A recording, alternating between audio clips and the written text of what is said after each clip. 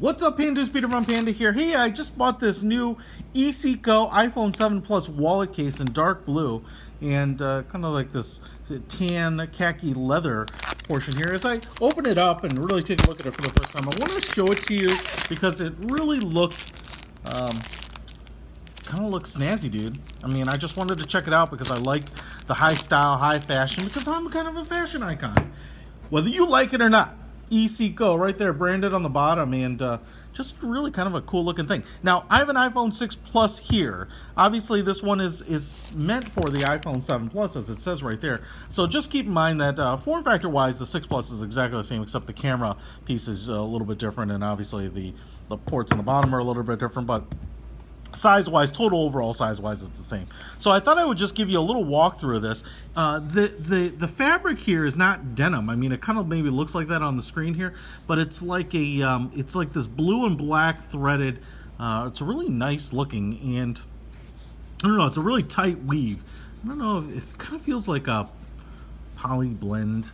Um, this part down here, I don't know if it's leather. It certainly seems like it could be, or it's a very good synthetic leather. Uh, and I just like the, the fact that you've got this blue and tan, kind of like uh, Southwest Airline seats. And tan colored stitching all the way around. You've got a cutout here for the front uh, speaker of your iPhone. And then you have a closure right here, which is magnetic. Look at that. So I uh, you can pull it, you can force it apart, but I can feel it not only coming together, but snapping shut. So there's probably a magnet in here and a piece of metal in there. Um, and that helps keep it closed and keeps the thing from opening inadvertently. So you can just pull it open and then we have some pockets. You've got a pretty nice full length pocket here. You've got a windowed pocket right here, so presumably for your ID, maybe your uh, office uh, ID or something like that. You have some additional pockets, business cards, credit cards, whatever it may be. Looks like there's a little problem with the perforation not all the way cut through. Um, but uh, you have one, two, three pockets, one with a window there. And you've got this kind of cool pattern printed on the inside. Look like a, uh, a tan off-white, which is nice. I like those details, you know? It's pretty nice looking. Then you have foam inside what generally would be kind of like a slim, kind of your standard, you know, case, slip over case for an iPhone. This one's black and it's a soft, it's, it's, it's rigid, but it's not like a hard case, right? So it's, it's kind of like a, a little bit of a rubbery texture. The back here appears to have like a, it's not microfiber. Man, I, I, I should have done more material sciences or something in school. But it's like a, uh, it's kind of like a matte finish, but flexible material. Not microfiber, but kind of like a, I don't know, like kind of the finish on the outside of TV remote controls. Does that seem crazy? But cutouts all the way around for the iPhone 7 with the two big speaker grills. Cut out for power, volume, and, and silent, and then nothing on the top. Now, I'm going to put this, pop this 6 Plus in here uh, because I want to show you the, the last feature. And as you can see here, as I pivot this down, you can see that there is a crease right there and obviously a bigger cutout for the dual cameras of the iPhone 7 Plus, but certainly seems like if you have a 6 Plus, it'll work because uh, there's additional cutout there. And But as you can see here, you've got this kick out so that you can use this as a stand.